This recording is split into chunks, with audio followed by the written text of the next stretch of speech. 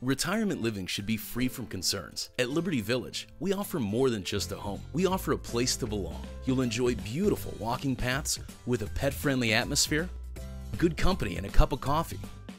An afternoon in the gazebo, reminiscing in Nick's Sweet Shop, spacious apartments, and so much more. Call today to schedule a tour or find out more at libertyvillageofdanville.com. The life you've always wanted is waiting for you at Liberty Village of Danville.